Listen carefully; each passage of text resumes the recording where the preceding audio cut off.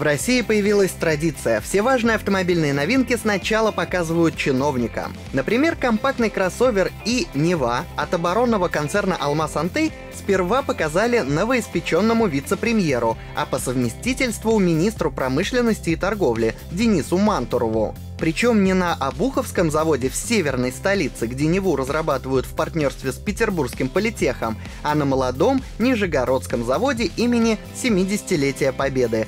Впрочем, место производства Невы еще не определено.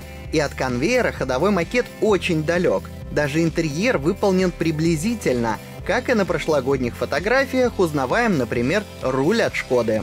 Технической информации мало — Платформа Невы позволяет поставить два электромотора общей мощностью до 435 сил. Также предусмотрен водородный вариант и гибриды с газовым двигателем. Параметры эти очень амбициозны, а потому логично, что сроки воплощения не называются. Упомянутый петербургский политех разработал еще два проекта.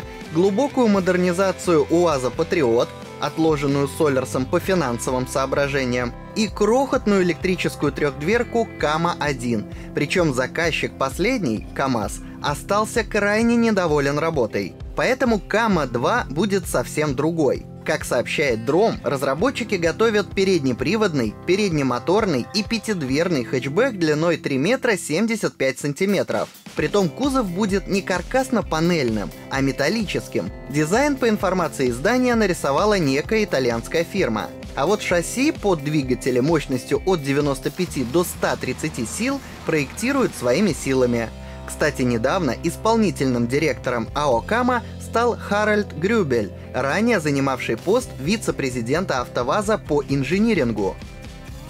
Аурус спешит успокоить. Работы над внедорожником «Комендант» движутся по плану. В Елабуге вовсю идут отладочные работы. Дата премьеры определится в ближайшие недели, а серийное производство развернется до конца года. Добавим, что «Комендант» опирается на ту же единую модульную платформу, на которой создан седан «Сенат».